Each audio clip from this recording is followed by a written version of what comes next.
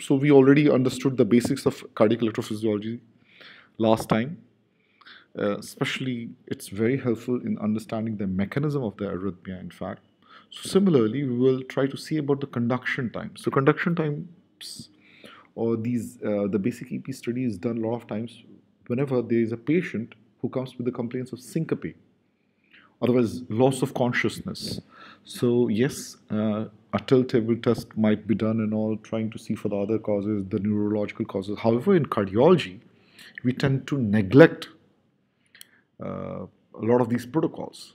So that is why uh, you should try to also see for arrhythmia induction as well. So even a tachycardia, like a ventricular tachycardia, could be the cause for the loss of consciousness as well. So that's why, uh, yes, you should try to rule it out as well. And even um, VT induction. So, for example, whenever we are trying to test, if the protocol itself is too aggressive, okay, and then you will be able to um, induce a VT, but it doesn't mean that it will be VT inducibility will be seen, okay. So for that, again, uh, you can say it is positive only when, so for example, if you are able to see at least 10 beats of VT, okay, after the stimulation. Similarly, it will be called negative when it's not inducible at all. If it is less than 10 beats, you will be calling it as short episodes. However, always remember in that as well, in the sense, don't try be, to be excess aggressive as well. So, for example, I mean is if you're using like five extras, six extras, yes, you will be able to induce, but it doesn't mean that. Okay. So now coming to the uh, you know the possible components of the EP study. So we already said it. C for the basic intervals, sinus node functions, AV node, His Purkinje, ventricular conduction, refractoriness, you have already defined. Similarly, you were able to see, you know, are there any dual AV node pathways or if there's any accessory pathways as well, you were able to define its presence, where is it located, how about its electrical properties as well. Similarly, are you able to induce any supraventricular or ventricular tachycardia as well? If you are able to induce, what is the mechanism for that? And the possible site of origin for the induced arrhythmias as well you should be able to tell. And how do they respond, for example, to any anti tachycardia pacing, otherwise, any uh, drugs as well, especially in the early days when EP studies had started.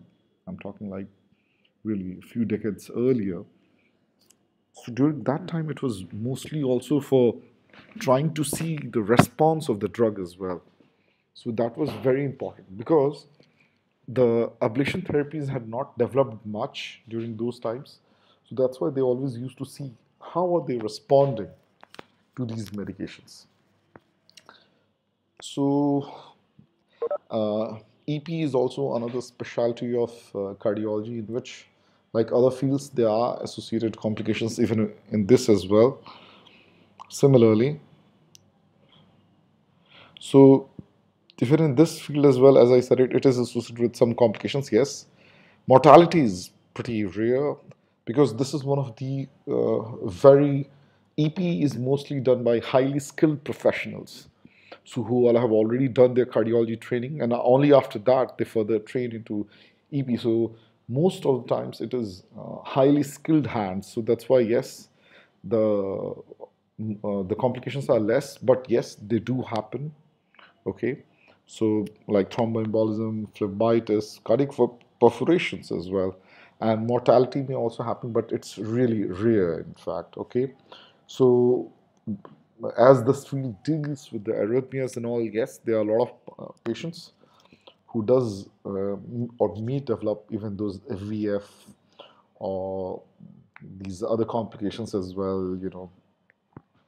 So so now once we are aware of these complications, so now coming to the other tests as well, what are those other tests which we try to do? So for example, one of the simplest tests, what we always try to see for is sinus node function test.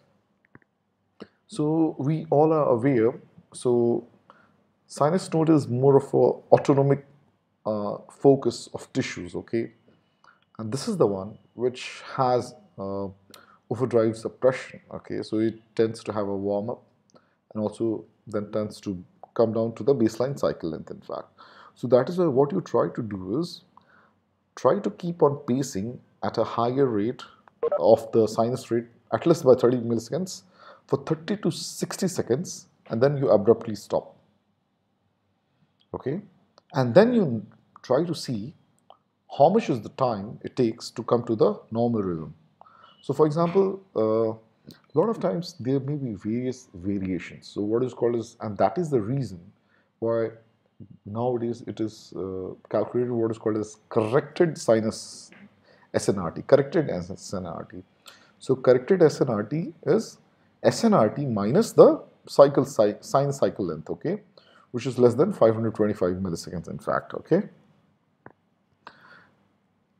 So, what do you notice over here is pacing is going on, right? So pacing is, initially pacing is going on and then after like 30 to 60 seconds, 30 seconds, then you just leave it. So for example, how much was the interval which was taken? So for example, over here is the sinus recovery time is 2060 milliseconds and you see this, uh, the normal sinus cycle length is 900 milliseconds. So you can uh, subtract 900 from this. So it is coming like uh, almost I would say like 1100 mm, okay? So 1100 is pretty fine in fact. So if it would be uh, uh, yeah now more than 1500 milliseconds yes it will be abnormal. As I said it similarly for the CSNRT it should be less than 500 okay so if it will be more than that so it will be uh, not so right in fact okay so I'll tell you a few more things in fact so this uh, sinoatrial conduction time. Sinoatrial conduction time. So this is more of a single-paced electric atrial stimulus which is delivered just before the next spontaneous sinus cycle and that's why it will be resetting in fact the sinus node. So what you do is uh, you will try to do is uh, so you try to calculate the intervals between the paced stimulus to the next sinus beat and then as it equals the half the difference between the spontaneous cycle length and the return cycle length. Okay, try to recall this very well and put it up in your long-term memory. So uh, whenever you are thinking about the exit blocks, is this patient having an exit block? That is the time you will try to do is a sinoatrial conduction time. So similarly, there is a uh, yeah, CSNRT, we had already said it as well. So this is, as we see in this tracing, so this we are trying to calculate the same, in fact, okay. So now the next thing what we are interested in, how about the atrioventricular conduction assessment? So if we block, we all are aware what happens is whenever there are impulses coming from the atrium to the ventricle, and there's absence of the physiologic refractoriness, that is when it will happen. So, yeah, it can be physiological or even pathological as well. Pathological, we all are aware, a lot of degenerative diseases are there as well. Sometimes some of them are induced even due to food habits, in fact. So, so what are the blocks? So I think most of us are already aware about the first degree AV block, okay? So there will be a prolonged PR or long RP intervals. Similarly, the second degree AV block has like uh, type 1 in which there will be progression, uh, you know, the PR is going to be prolonged, prolonged, prolonged and blocked. Okay. So that here, the site of block is also very important, which we all should be keeping in mind. Similarly, the type 2 block is the one which is characterized by sudden failure of conduction. Okay, there is prolonged conduction manifested with no changes in PI interval. Okay, and then comes the finally third degree AV block in which P and R, uh, you know, the atrial and ventricular depolarizations are independent of each other. However, the PP intervals and the RR intervals are fixed. Okay, so the other thing, what we all should keep in mind is what is the possible level of block? Is it supraHIS, infraHIS? So these are the tracings which you all will be getting over here. So we all are very much aware for this, okay? So as I was telling you how to indicate the block. So as I was, as I already tried to say it as well, AV block can proximal. So the proximal AV block is above the His bundle. Okay, so what it means is uh, there is block in the AV node or and it can be intra-Hisian in fact okay it can be distal to the His bundle so that is what is called as the infra-Hisian in fact and yes uh, whenever we being clinicians we are interested how about the prognosis? So prognosis will always depend upon the side of the AV block. So for example if there is a block which is distal to the His bundle yes it does imply poor prognosis and definitely it will demand uh, pacing in fact. And that is the reason why uh, the EP study will be able to identify if there is really any need or importance for pacemaker implantation for example for someone who is having a syncope or such kind of problems. So yes try to do a basic conduction interval. So in the sense if the HV is more than 70 milliseconds, okay, and the person is symptomatic, okay, uh, then that is the time you should be uh, considering as well for such patients, you know, for the pacing. So that is what what we are seeing over here. AH you can measure it over here, okay, over here AH.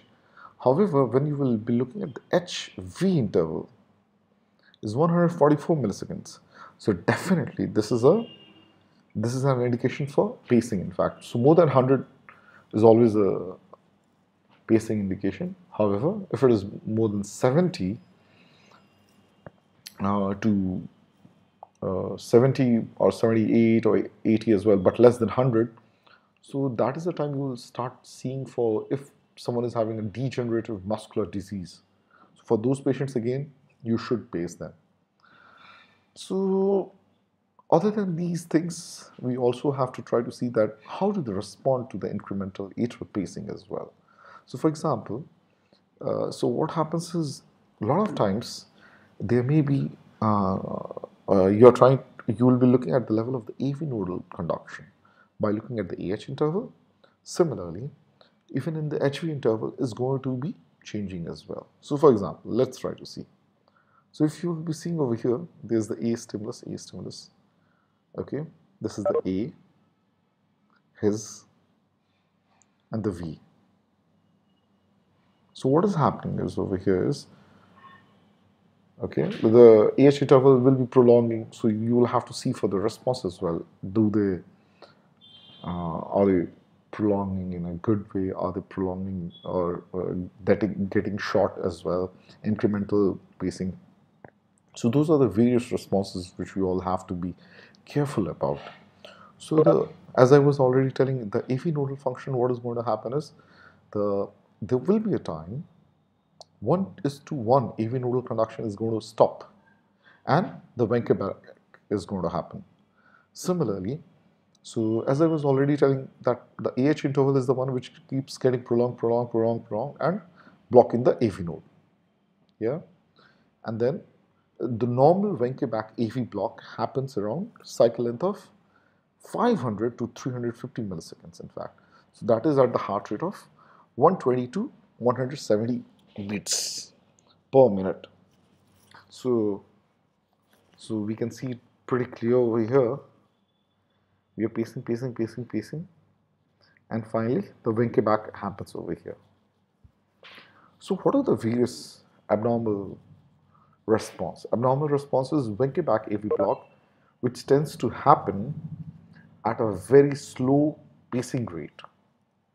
Okay, so for example, if there is a patient with an enhanced vagal tone or even under the drug effects and at shorter cycle lengths as well in patients with enhanced sympathetic tone as during the exercise. In fact, in contrast to the EH interval, the HV interval remains relatively constant during incremental atrial pacing and block below the his okay and is considered pathological at pacing cycle lengths greater than 400 milliseconds. Yeah? So if we look carefully over here, AHV, so HV gets prolonged and then finally comes the block over here. So this is what is intra-His block. Yes? So regarding the indications for permanent pacing, so we, I, as I already said it, if HV is more than 70, yes. More than 100, 200%. Similarly, and yes, the patient has to be symptomatic as well. However, if it is more than 100, definitely it's a 100% indication. And uh, so when you did this, uh, try to measure those all those intervals and all, and there's a block below the His bundle at atrial pacing rate of less than 150 uh, beats per minute. And it is going to indicate disease in the His Purkinje system. Okay, and of course, there will be higher chances for complete heart block, and that is the reason you should try to pace them for sure. So,